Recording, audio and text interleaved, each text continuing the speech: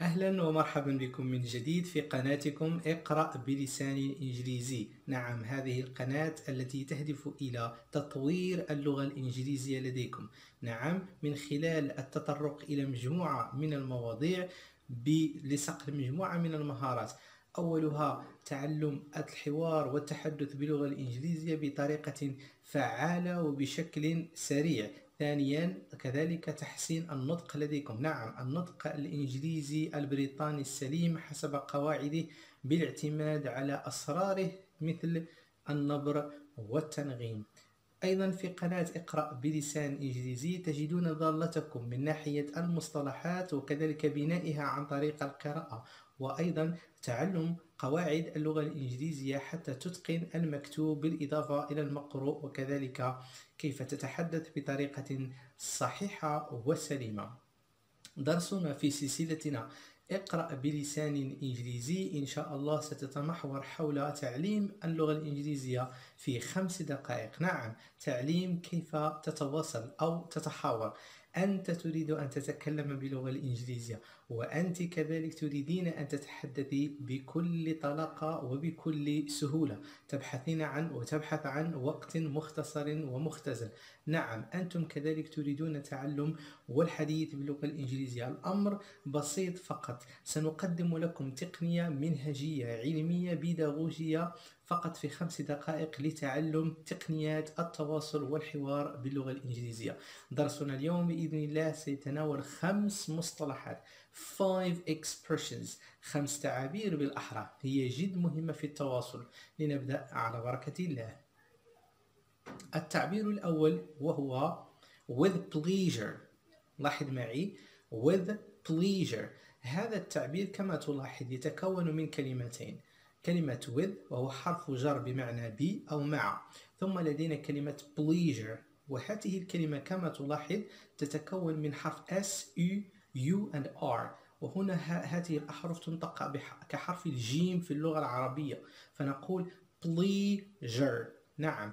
pleasure with pleasure.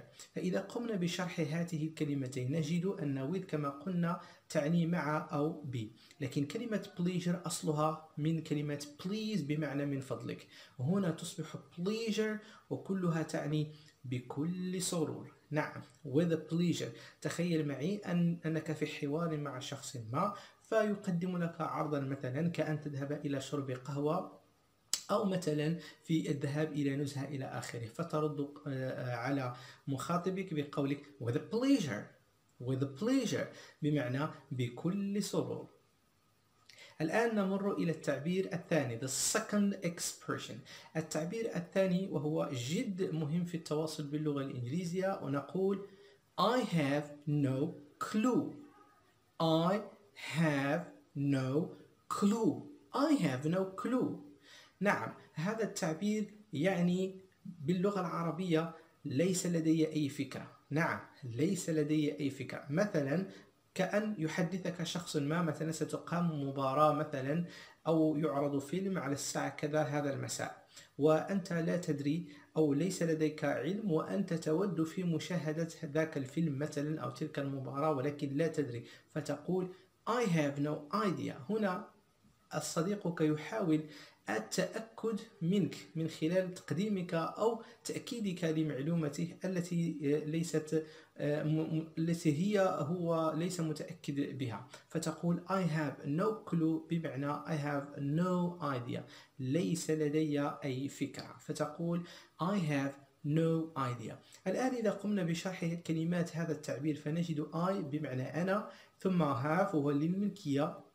بمعنى I have no بمعنى ليس لدي. لاحظ أن no هنا للنيجاتيف فورم للجملة السلبية.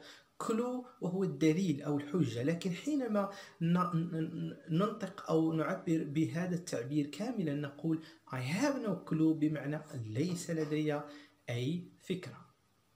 الآن نمر إلى التعبير number 3 رقم ثلاثة. هذا التعبير نقول مثلا I couldn't believe my eyes. كما تشاهدون I couldn't believe my eyes. يمكننا أيضا القول I can't believe my eyes. وهنا المعنى بالعربية يعني أنني لا أصدق عيني مثلا لاحظ معي أنك مثلا آه، قد يخبرك يخبرك شخص ما مثلا لقد اشترى لك سيارة مثلا. فتقول I couldn't believe my eyes. I couldn't believe my eyes. فأنت لن تصدق لا تصدق عينيك. بمعنى أن الأمر يبدو مستحيلا. وهنا لاحظ معي إذا قمنا بشرح هذا التعبير نجد أن I بمعنى I couldn't I could not بمعنى لا أستطيع believe وهي من فعل آمن يؤمن. I could not believe أي صدق أو آمن. Eyes وهما الأعين. إذا I couldn't believe my eyes بمعنى لا أصدق هذا أو هذا الشيء بمعنى أنه مستحيل أن تتقبله. الآن نمر إلى التعبير number four. The fourth expression. هنا نقول مثلا no way. No way.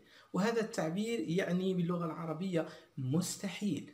مستحيل. مثلا قد يخبرك شخص ما بأمر وهو يبدو نعم مستحيلا وغير منطقيا فتقول no way. No way. إذا لاحظ معي كلمة no تعني لا ثم way وهو المسار أو الطريق. لكن حينما نجمع الكلمتين معا تعطينا تعبيرا يهدف وهادف وكذلك مفهوم لدى آه، الأجانب بخصوص اللغة الإنجليزية ويساعد على التواصل فتقول no way no way. الآن نمر إلى التعبير الأخير في درسنا اليوم وهو the, four, the fifth expression وهو really نعم. Really? لاحظ معي أن really تتألف من R E A double L and Y. إذا هذه الأحرف إذا ما حذفنا آخر آخر حرفين بمعنى Y and L تصبح لدينا كلمة real. And real بمعنى الحقيقة. لكن حينما نقول really really? بمعنى أحقا فهنا أنك تؤكد على مصداقية هذا ذاك الأمر. فتقول really أحقا really لاحظ معي هنا. كلما كان النطق في هذه الكلمة من أربع إلى سبع ثواني يكون أكثر آه، آه، بلاغة في آه، التعبير ويصل إلى الآخر. فتقول really فهنا يعبر على أنك مندهش من هذا الأمر. وتقول حقا نعم. إذا هذا درسنا اليوم بخصوص هذه التعابير الشائعة بخصوص التحاور والتواصل باللغة الإنجليزية. نعاود هذه سرد هذه التعابير المهمة. فنقول the first expression التعبير الأول بطبيعة الحال فنقول with pleasure with pleasure بمعنى بكل سرور. ثم التعبير الثاني I couldn't believe my eyes. I couldn't believe my eyes. ثم نقول أيضا I have no clue بمعنى ليس لدي أي فكرة. I have no clue. التعبير أيضا الآخر وهو no way بمعنى مستحيل. No way. وآخر تعبير وهو really really أحقا نتمنى أنكم قد استفدتم من هذا الدرس السريع بخصوص تعلم اللغة الإنجليزية في خمس دقائق. كيف تتواصل؟ كيف تجيب؟ وكيف تتحاور؟ إلى اللقاء. Goodbye.